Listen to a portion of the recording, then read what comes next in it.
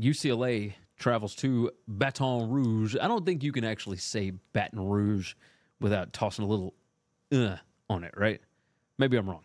So, Baton Rouge down in Louisiana.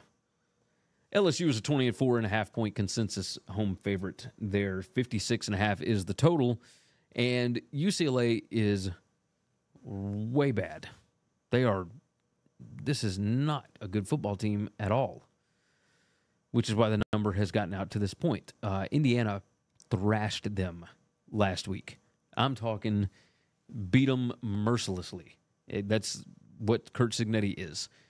And my initial thought now, my numbers here LSU minus 10 and a half, power rating plus stats up at the top has got LSU minus 9.61. I don't think that I trust these numbers. Uh, the power rating here, just raw power rating, would have LSU favored by nine. Still some priors built in there, obviously. Uh, but look, the, the passing defense for UCLA is terrible. The rush defense is okay. We saw South Carolina last week, and LSU started to figure out their running game a little bit, but they're still only running the ball 37% of the time. Had to throw a lot last week, for sure. Uh, field position, LSU's better, but that LSU defense is, I mean, it's really bad too. Uh, number 123 in PPA per pass allowed, number 101 in PPA per rush. But if you look at the other side, UCLA is not good at any of that. I'm talking they are they are bad bad. Neither of these teams has actually covered against the spread, so there's no good trend here to like get you in a good spot. Um, I don't I don't feel great about it, uh, but I'm going to take UCLA plus the 24 and a half because that number I think got outrageous.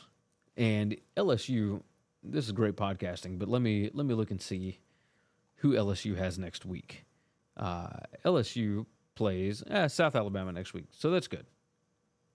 That's all right. What about UCLA? UCLA hosts Oregon next week. This is the stretch for UCLA. Indiana at LSU, Oregon at Penn State.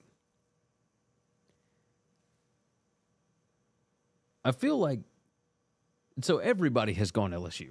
I'm gonna I'm gonna go the opposite direction. I'm gonna go UCLA plus the 24 and a half. And then hold my nose and pray. Uh, again, this is not an official play. This is what I would do with the game if I had to bet it. My official recommendation would be don't bet this game. If you want my official plays, go to bettingcfb.com or the BetUS College Football Show every Tuesday and Wednesday, 1 p.m. Eastern Time. That is the best time to do that.